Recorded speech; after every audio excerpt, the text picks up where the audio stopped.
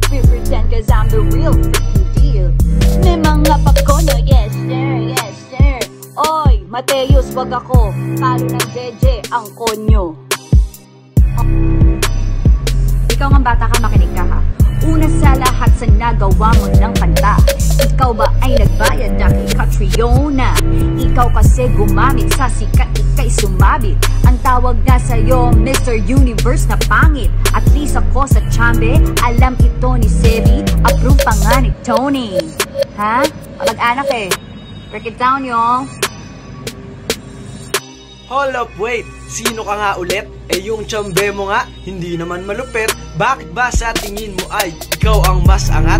Eh sa vlogs ka lang naman kasi talaga sikat So girl, just sit down and put on your makeup Cause Shady said, will the real artist please stand up? Please stand up